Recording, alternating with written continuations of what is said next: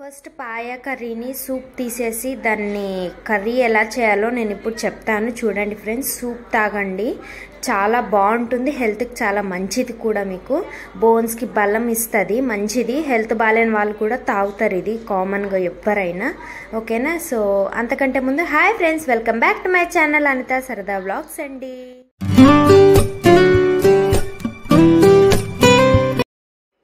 Friends అందరికీ ఇవాళ వచ్చేసి అయితే కాళ్ళ కూర చేద్దామని అయితే ఫిక్స్ అయిపోయినాం ఫ్రెండ్స్.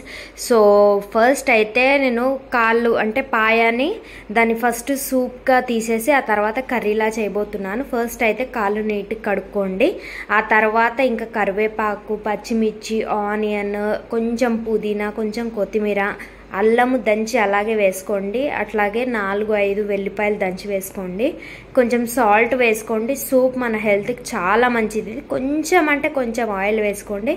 ఎక్కువ అవసరం లేదు. కొంచెం జీలకర్ర అది కొంచెం డైజెస్ట్ కావడానికి ఇన్ని మసాలా వేస్తాం కాబట్టి తర్వాత కొంచెం పసుపు తర్వాత బిర్యానీ ఆకు మసాలా హోల్ గరం మసాలా అయితే వేసేసుకోండి. సాజీరా అన్నీ ఇంకా యాలకులు లవంగాలు చెక్క అన్నీ వేసేసుకోండి. ఆ తర్వాత రెండు చెమ్ములుగా వాటర్ పోసుకోండి ఫ్రెండ్స్ ఓకేనా?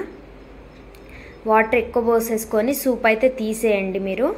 సూప్ తీసేసి ఫ్యామిలీలో ఎవరికైనా బాగాలేదు జలుబు ఉన్నా హెల్త్ బాగాలేకపోయినా ఇంకా పిల్లలకి పెద్దలకి ఎవరికైనా తాపొచ్చు. చాలా మంచిది ఫ్రెండ్స్ ఇదైతే.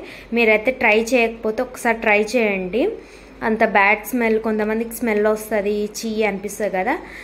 అట్లా ఉన్న వాళ్ళు కూడా తాగేస్తారు. సూపర్ ఉంటుంది. ఎవరైనా మండి ఈ రోజుల్లో కామన్గా తింటారు మండికి వెళ్ళిన వాళ్ళు మటన్ సూప్ ఎలా తాగుతారో ఈ పాయా సూప్ కూడా అలానే తీసుకొని తాగండి.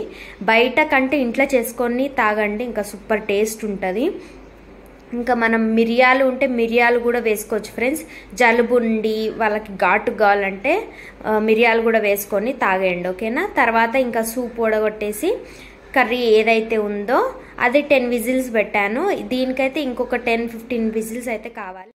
ఆనియన్ టమాటో కరివేపాకు అన్నీ వేసేసుకోండి ఫ్రెండ్స్. ఇంకా ఇందులోనే అన్నీ వేసేసి లిడ్ పె లిడ్ పెట్టేసి మనము పొయ్యి మీద పెట్టేస్తాము. ఇంకా అంతే. ఆయిల్ పసుపు ఉప్పు కారము ఇంకా అన్నీ ఏమేమి కర్రీకి వేస్తామో.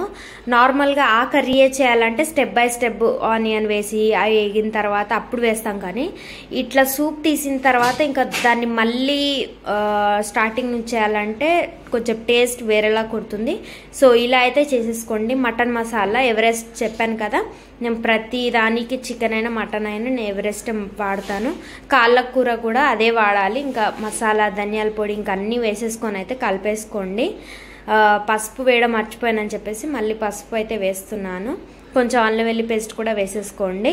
ఆ తర్వాత ఇంకా వాటర్ చెమ్ము చెంబున్నర అయితే పోసుకోండి. అంటే ముక్కలు కొంచెం తేలేంత వరకు పోసుకోండి. ఎక్కువ అవసరం లేదు. ఇంతకుముందు ఆల్మోస్ట్ హాఫ్ ఉడికింది కాబట్టి ఇంకా హాఫే ఉడకాలి కాబట్టి ఇంకొక టెన్ ఫిఫ్టీన్ పెట్టండి. ముదురుంది అనుకొని ట్వంటీ అయినా పెట్టండి. పర్వాలేదు. బోన్స్ చాలా గట్టిగా ఉంటాయి కాబట్టి ఎక్కువ విజిల్స్ పెడితేనే అది మంచిగా ఉడుకుతుంది. అది ఉడికితేనే టేస్ట్ బాగుంటుంది కాబట్టి ఇంకా అల్లం వెల్లి పేస్ట్ కూడా వేసేసుకొని కలిపేసుకొని లిడ్ అయితే పెట్టేస్తున్నాను ఫ్రెండ్స్. ఆ సూప్ అయితే మీరు తీసి పెట్టారు కదా అది మీ పిల్లలైనా మీ పెద్దలైనా మీరైనా ఇంకెవ్వరైనా తాగొచ్చు ఫ్రెండ్స్. చాలా మంచిది అది. ఇంకా నెక్స్ట్ వచ్చేసి టెన్ ఫిఫ్టీన్ విజిల్స్ తర్వాత చూసారు కదా వాటర్ కొంచెమే గుంజుకుంది. చూసారు కదా ఇంకొంచెం అది కొంచెం కర్రీలా కావాలి కాబట్టి ఇంక అంతే అయిపోయినట్టే కొత్తిమీర కూడా వేసేసుకొని స్టవ్ అనేది ఆఫ్ చేసేసుకోవచ్చు. ఇంత సింపుల్గా అయితే చేసేసుకోవచ్చు ఫ్రెండ్స్. నేను స్టెప్ బై స్టెప్ కూడా ఇంకెప్పుడైనా వీడియో తీసి అయితే పెడతాను ఎలా చేయాలో. ఇది సూప్ ఎలా చేసుకోవాలి ఇంకోటి దాన్ని ముక్కలతోని ఎలా కర్రీ చేసుకోవాలనేది కూడా చూపించాను. ఫుల్ వీడియో చూసారు కదా సో వీడియో కనుక మీకు నచ్చినట్టయితే లైక్ చేయండి షేర్ చేయండి సబ్స్క్రైబ్ చేసుకోండి. పక్కనుండే బెల్ ఐకాన్ క్లిక్ చేయండి.